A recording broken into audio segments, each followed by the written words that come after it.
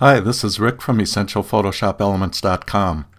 I wanted to let you know that I've completed a Kindle book that you can download for free through October 21st, 2012. After that date, it won't be free, but you can still buy it for quite a reasonable price. Let's take a look through the book and see what's included. This is a book that shows how to fix some common problems that people have with their photos. Things that can wreck a photo like poor exposure, crooked shots, and color casts. Many of these problems can be fixed with Photoshop Elements.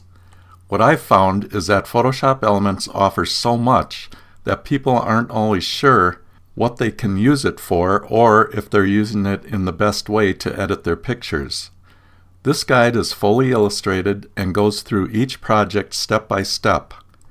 I think you'll see that many photos you thought were unusable can be given new life with Photoshop Elements.